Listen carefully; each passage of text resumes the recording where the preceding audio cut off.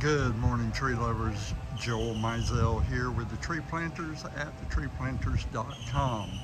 So this video is more for my Central Florida customers because in Central Florida there are no banyan trees to speak of.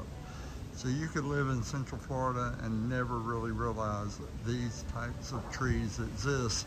But they're one of the coolest trees and they have characteristics that are unlike anything else all of those things right there that are hanging down are actually roots that grow off of the limbs and they grow downward. They're actually growing, they're not hanging, although they are hanging. And they will continue to grow downward until they touch the ground. And every time one of them touches the ground, it becomes another. That's what this is, that's what these are. Every one of these are roots that grew downward until they touched the ground and then they rooted in the ground. You see that, it's completely rooted. And then it forms another trunk and grows upward.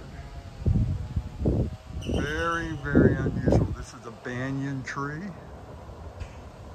also called a ficus tree. There's quite a few varieties of these and they are just incredible. They get huge.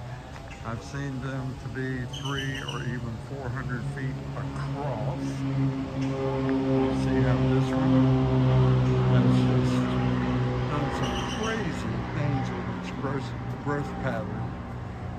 That's not unusual with a banyan tree. So this tree is actually in Playa del Carmen, Mexico. That's where I am right now.